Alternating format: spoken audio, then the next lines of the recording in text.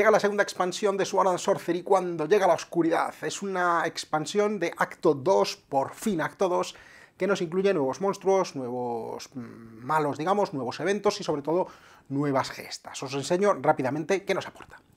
Bueno, pues por un lado tenemos nuevos enemigos, por supuesto, con sus miniaturas, ahí veis, en los tres colores, y aquí tenéis las cartas, tenemos un saqueador oscuro nuevo, tenemos un caballero que es así como muy chulo, me gusta mucho, es un, caballero funesto porque es como un esqueleto, es, es, una pasada este, es el que más me ha gustado, bueno, ya sabéis que me va conmigo, ¿vale? Me pega, pero que es muy, muy, muy, muy chulo.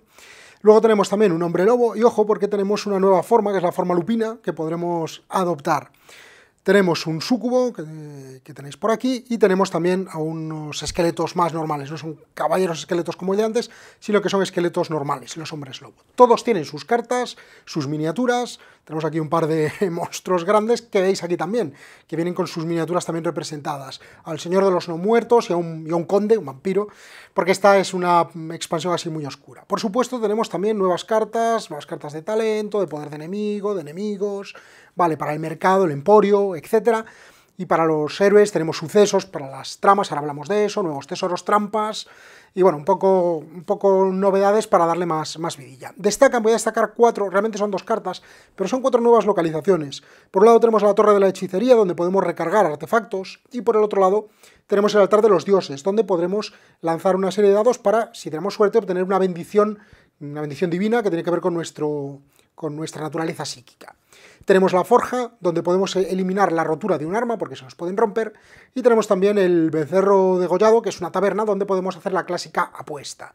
Estos nuevos cuatro edificios están disponibles para la fase de emporio, cuando queráis hacer cosas nuevas. Hay una acción nueva también que se llama eh, orar, donde los jugadores en determinados puntos de, poder divino pueden realizar oraciones como acción de turno para obtener bendiciones divinas. Tenemos, por supuesto, nuevas losetas de terreno y nuevas fichas para las nuevas aventuras, que es sin duda, os las enseño así un poco rápido, pero bueno, es lo típico, ya sabéis que son simplemente nuevas, eh, nuevas localizaciones, tenemos alguna ficha nueva, estas también son nuevas, para dar un poquito más de variedad, pero decía lo fuerte, lo principal es el libro de gestas, donde tenemos las gestas, siete gestas, que empiezan aquí en la gesta 1 hasta la gesta 7, una menos, que eso es publicidad, aquí hasta la gesta 7, y son todas gestas de acto 2. Por fin tenemos material para el acto 2, que puede continuar cualquiera de las aventuras de acto 1 que teníamos.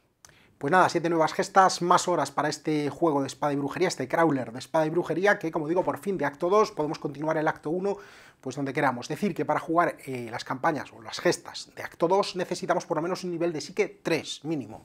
O sea que no podemos empezar de cero, pero se supone que como mínimo habremos hecho la de acto 1 que viene en la caja base que es necesaria para jugar con esta expansión de Sword and Sorcery.